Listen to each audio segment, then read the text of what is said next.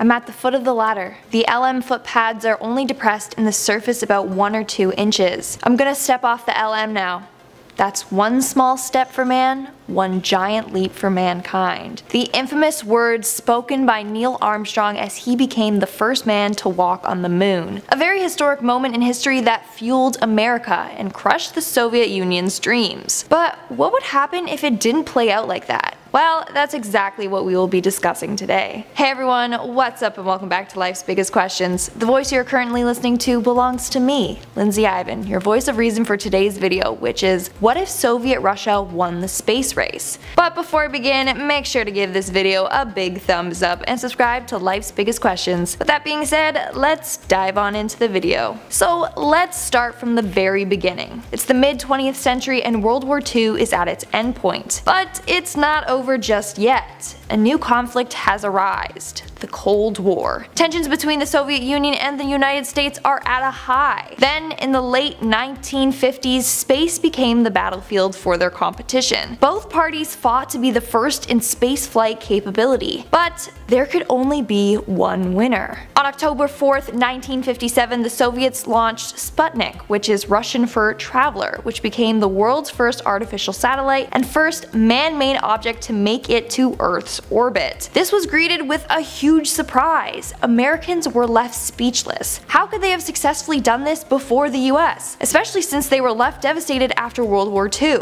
This was the beginning of a very long and devastating competition. Less than a month later the Soviets launched Sputnik 2 which contained a dog named Laika. It wasn't until 1958 that the US received their first achievement in the space race. They launched a satellite named Explorer 1. That same year, NASA was founded and announced that they were determined to send humans to space. Now, for the first half of the race, it was said that the Soviets were way more ahead than the US. They had many firsts. They had Luna 1, the first artificial object to escape Earth, Luna 2, the first spacecraft to reach the moon, and Venera, the first spacecraft to head towards Venus. The US was way behind. Then in April of 1961, the Soviets sent Yuri Gagarin out to space, and he he became the first person to orbit Earth. But all of these successes did not stop the US from trying. In fact, it propelled them into working faster and harder. On May 5th, astronaut Alan Shepard became the first American in space. After that success, President John F. Kennedy announced that the US would land a man on the moon before the end of the decade. Then, a few months later, he delivered his famous moon speech, which included the line, We choose to go to the moon in this decade and do the other things, not because they are easy, but because they are hard. Or maybe it's because you really wanted to show the Soviets who's boss boss. Over the next few years, each participant in the race took several firsts. In 1962, the US had their first interplanetary flyby with Mariner 2 passing by Venus. And then they had the first Mars flyby in 1965 with Mariner 4. But the Soviets sent the first woman into space, Valentina Tereshkova, in 1963. The US didn't achieve this until 20 years later. Nonetheless, it seemed like the two were neck and neck battling for first place. Sure, they both accomplished many historic firsts with regards to space, but they both wanted to be the first one to send a human to the moon.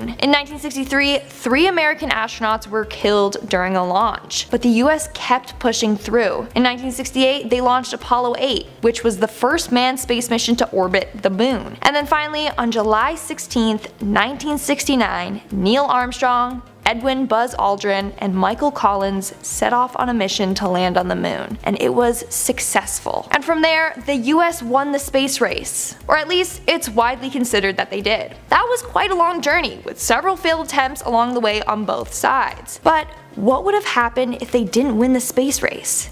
That's the question we need answers to. So the first theory is by space historian Dr. Christopher Riley. He believes that if the Soviets won the space race, then they would have continued on with multiple other moon missions, and they may have even built lunar bases. If Soviet Russia won, that means they may start taking things to the next level. What else can they beat the states at? What else can they do in outer space to continue proving to other countries that they are the boss? It would eventually get very costly. Who knows where they would start pulling funds from. Furthermore, this win might just fuel Russia. In 1947 and 1952, magazines in the States were saying that the first in space will win the Cold War. But space policy expert at American University Howard McCurdy said that what this really meant was that the nation that wins the space race will control the Earth and space. So the Soviets would get super cocky and be like, we are the masters of the space, our next step is to conquer the world. If this is true and they claim space, then they may try to stop the US from doing any venturing to space. The Soviets will probably be like, oh, we got here first, so we have dibs on space, even though that's not really how it works. But if that did happen, then all of the discoveries NASA has made would no longer be a thing unless they fought for control. Let's move on to our next point. So if America did lose, one of two things may also happen. The first being, they massively cut down NASA's funding and place the money into a system they can trust, like military projects or something like that. Or they increase NASA's funding to try to become better than the Soviets. Since the Soviets got a man on the moon before them, they will be under immense pressure to do the same and quickly. They wouldn't want to be too far behind. The Soviets may have done it first, but the US would still want to prove that they can do it as well. But this may result in the US rushing the attempts to try and do it as quickly as possible, meaning they are leaving more room for error. Rushing this could lead to more deaths of their crew members, but the competition wouldn't stop there. The US may just do something outrageous to try and one-up them. Maybe it's doing something like sending a whole family to the moon, stuff like that to prove to the Soviets that, hey, you may have gotten the first man on the moon,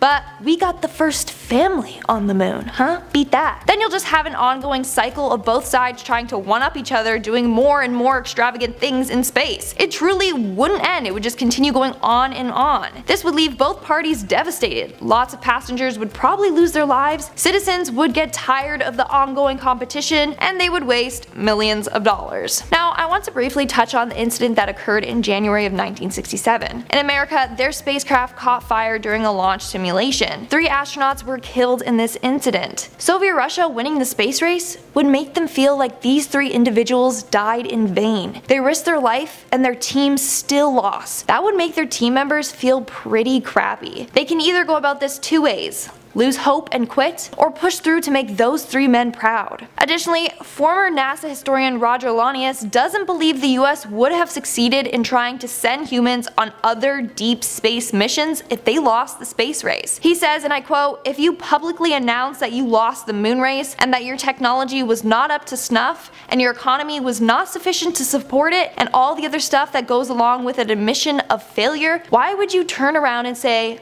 oh no, we're not going to do that. We're now going to do something that's at least an order of magnitude more difficult. You're setting yourself up for failure a second time. It would definitely be a huge embarrassment. They wouldn't want others to see them fail again. So they may just stop focusing on space travel and instead put their focus on something else. But Roger Launius and Howard McCurdy both believe that the US would have proposed the idea of a joint venture with the Soviet Union. They would make some sort of deal with them to get an American man to the moon. Hey, maybe it would be the beginning of a long friendship between the two. Or the Soviet Union would have been like, back off, you're only being nice to us because you lost, why should we help you? Who knows knows what America will offer them in exchange. If they are desperate enough, they may make a drastic deal with the Soviets. Roger and Howard also believe that if the Soviets won the space race, then the fall of the Berlin Wall probably wouldn't have happened. Not only that, but the Soviet Union may still have had control over most of Eastern Europe. Then some undecided countries may have allied with the Soviets instead of the Americans. This would be a huge accomplishment for Soviet Russia. I can't emphasize that enough. Their propaganda would be insane. They would be going on on and on for days, months, and years about their victory. Maybe they will get more countries on their side and become a more powerful force. Not only that, but maybe the undecided states would think that communism was the way to go. They may think that if they follow communism, then they too can make such remarkable achievements. So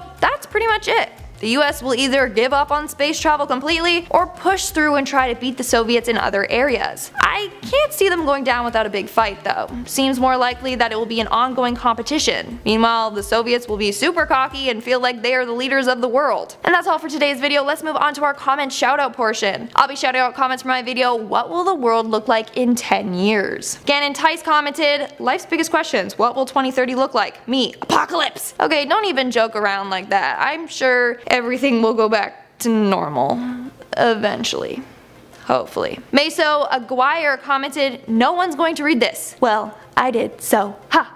Take that. Topsy Crypt commented, next time you visit someone with an Alexa, hey Alexa, set 3am alarm with horror movie sound effects. That's so evil. I like it. and that's all the comments I'm shouting out for today's video. Make sure to comment something down below for a chance to be featured in our next comment shoutout. And as always, don't forget to give this video a big thumbs up and subscribe to Life's Biggest Questions for more thought-provoking videos. I've been your host, Lindsay Ivan, and stay curious YouTube.